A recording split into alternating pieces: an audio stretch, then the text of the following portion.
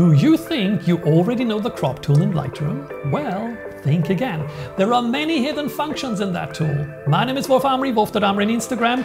Welcome to part 6 of my Lightroom tutorial series.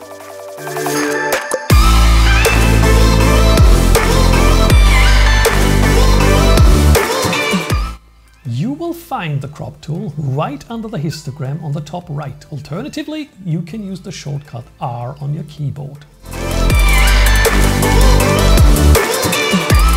Let's start this lesson with something that you might not expect in the crop tool. Let's say we shoot an image with a tilted horizon, which by the way is one of the most frequent compositional mistakes in photography and should be corrected for every image, no matter if you crop it or not. Of course I'm a little more thorough than that, so I faked the images to get a tilted horizon. I swear. Lightroom has a cool tool for that, the angle tool, and it is located within the crop tool.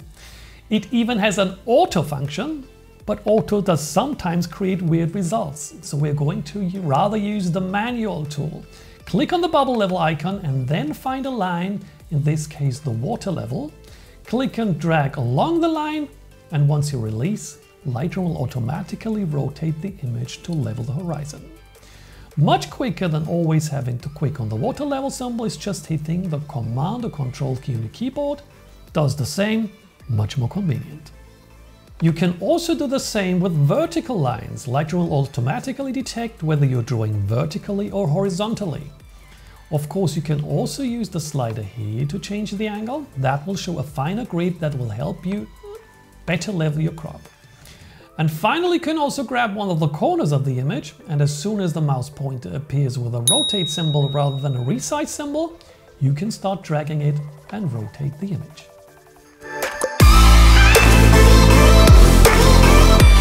So much for making sure our image is level. Now onto what you'd expect from the crop tool, the cropping function. When you click on the crop tool, you will be able to drag the corner points to change the cropping.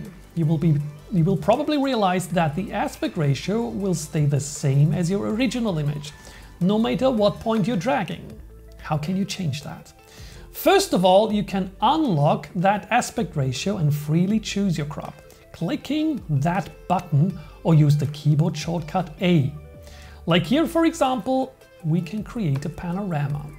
I do, however, recommend to stick to the more common aspect ratios like 2 to 3, which is the ratio for DSLRs or most mirrorless, or 4 to 3 for most compact cameras, or 16 to 9 for TV. They all can be found by clicking on this drop down. Why do you want to do that?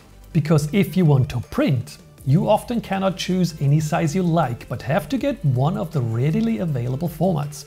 Also, when exporting for your tablets, smartphones or TVs, they have a certain aspect ratio and you want to fill the complete screen rather than letterbox the images. iPhones, for example, have an aspect ratio of 19.5 to 9, which is a little weird. But if you want to export images for viewing on an iPhone, you can enter that crop aspect ratio here, choosing Enter Custom.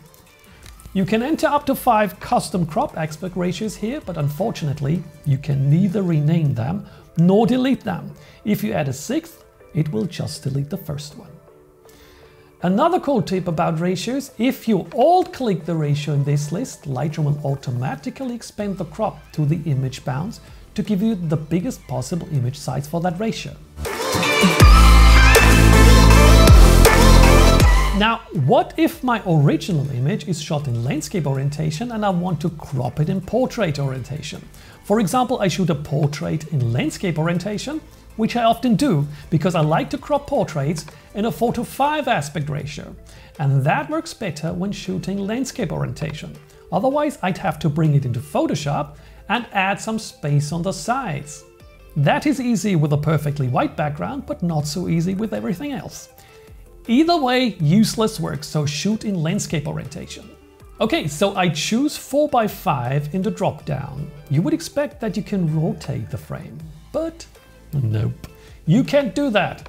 It will only rotate 45 degrees. So let's reset that with Command Control Z. There are two ways of changing the orientation. One is pressing the X key while you're in crop mode. Remember when you're not in crop mode, Let's exit crop mode for a moment. The X key will flag your image as rejected. But if you have activated the crop tool, let's do that again, hitting the R key. X will change orientation. Another way to change between portrait and landscape orientation is to click this button and create a completely new crop. Depending on how you drag your mouse, you will get a landscape orientation or a portrait orientation. This method is much more cumbersome though.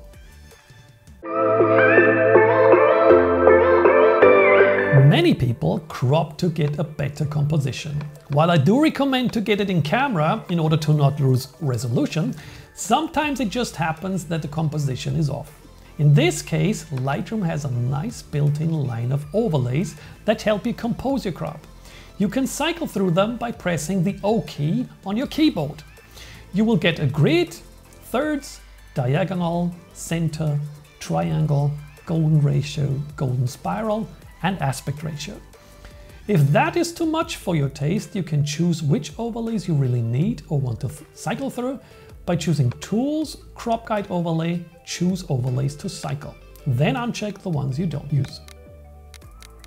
With Shift plus O, you can mirror the overlays.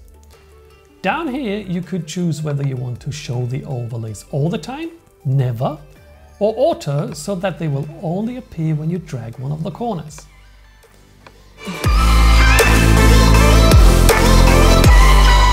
You can confirm a crop with either your Enter key, your R key. Remember, with the R key, you can also select this tool. Clicking on the crop tool again, click Done, or click Close up here. Why so many options? Don't ask me.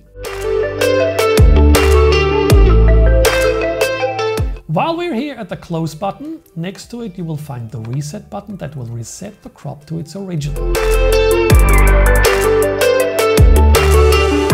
Right above the reset button you see a checkbox constrained to image. Click it and you will see it usually does nothing at all. But if you do some lens corrections down here and drag the distortion slide into the plus region, some white areas will appear around the edge of the frame.